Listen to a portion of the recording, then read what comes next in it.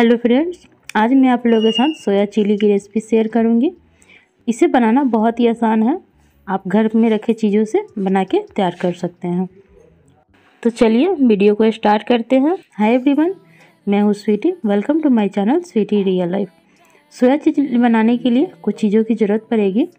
तो हम ले लिए हैं यहाँ पे लाल मिर्च पाउडर, नमक स्वावरी और red chilli sauce, soya sauce, vinegar, तेल टमाटो केचप और कॉर्नफ्लावर और मैदा। सब सामान ले लिए हैं और सब्ज़ी में ले लिए हैं। हरा प्याज, मिर्च, लहसुन और शिमला मिर्च और प्याज, इन्हें स्क्वायर शेप में काट लिए हैं। अब चलते हैं गैस की तरफ़। गैस पे पानी गर्म होने के लिए रख दिए थे हम। जब हल्का पानी गर्म हो जाएगा, उसमें डाल देंगे स्वावरी को और इसे एक बॉयल आने तक पकने देंगे। और ये देखिए फ्रेंड्स, एक बॉयल हो गया है, गैस को कर देंगे ऑफ़ और ठंडा पानी में स्ट्रॉबेरी को हम निकाल के डाल देंगे। उसके बाद अच्छे से धो लेंगे और इसका जितना भी पानी है, सारे पानी को हम निकाल देंगे और दूसरे बर्तन में निकाल के रखेंगे। सारे स्ट्रॉबेरी में से सारे पानी निकाल लिए हैं और ये देखिए फ्रेंड्स, इसमें डाल रहे हैं कॉर्नफ्लावर उसके बाद डालेंगे मैदा। उसके बाद डालेंगे नमक, स्वाद के अनुसार, सोया सॉस और रेड चिली सॉस। और यहाँ पे लाल मिर्च भी डाल रहे हैं। मैं कश्मीरी लाल मिर्च का यूज़ कर रही हूँ। आप तीखा खाना पसंद करते हैं तो नॉर्मल मिर्च भी डाल सकते हैं। और सबको यहाँ पे लगा लिए हैं, कोट कर लिए हैं। अब इसे फ्राई करेंगे तो तेल गरम पूरा हो गया है। और इसे हाई फ्लेम पे हमें फ्राई करना है स्ट्रॉबेरी को। और एक एक करके चम्मच से डालेंगे और अलग अलग कर देंगे ताकि ये सोयाबड़ी एक में एक सटे नहीं अलग अलग रहे। तो ऐसे करके हम फ्राई कर लेंगे। फ्राई होने में टाइम नहीं लगता है, बहुत ही जल्दी फ्राई हो जाता है। और ये देखिए फ्रेंड्स, कितने अच्छे कलर आ रहे हैं। और ये देखिए फ्रेंड्स, फ्राई होके तैयार हो गया है। हमें ऐसे ही गोल्डन ब्राउन होने तक फ्राई करना है। और ऐसे ही हम दूसरा बैच भी तैयार कर लेंगे फ्राई करके।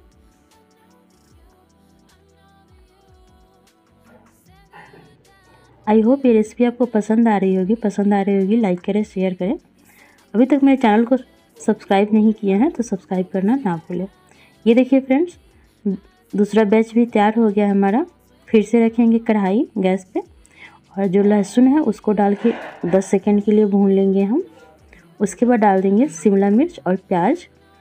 और इसी एक मिनट के लिए हम सॉटे करेंगे। इस सब प्रोसेस हाई फ्लेम पे ही करना है।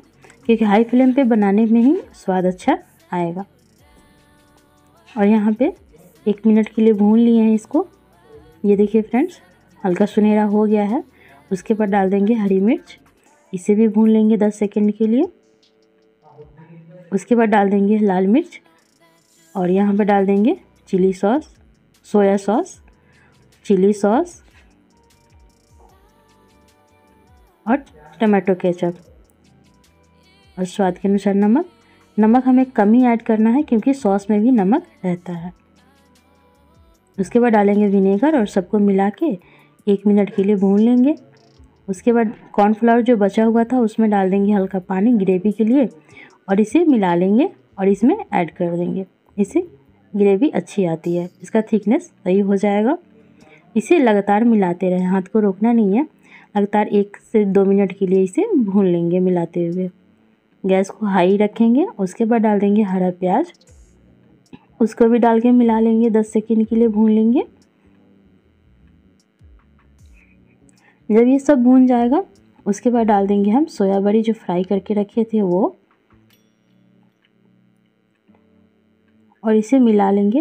और इसे सोयाबरी डालने के बाद हमें ज़्यादा नहीं भूनना है, बस एक मिनट के लिए भूनेंगे। अगर ज़्यादा भूनेंगे तो फिर स्ट्रॉबेरी सॉफ्ट हो जाती है तो फिर वो खाने में अच्छी नहीं लगती है। और ये देखिए फ्रेंड्स, यहाँ पे सोया चिली बन के तैयार हो गया है। अब ये सर्व करने के लिए रेडी है। तो ये देखिए फ्रेंड्स, मैं सर्व कर रही हूँ। आई होप ये रेसिपी आपको बहुत पसंद आई होगी। पसंद आई होगी, लाइक करें, शेयर करें। अभी तक मेरे चैनल को सब्सक्राइब नहीं किए हैं तो आपसे रिक्वेस्ट है कि सब्सक्राइब करना ना भूलें। ये फ्री में ही सब्सक्राइब होता है, कोई इसका पैसा वगैरह नहीं लगता है। तो आप ज़रूर से ज़रूर सब्सक्राइब कीजिएगा और बेल आइकन को भी प्रेस कर दीजिएगा ताकि आने वाले वीडियो का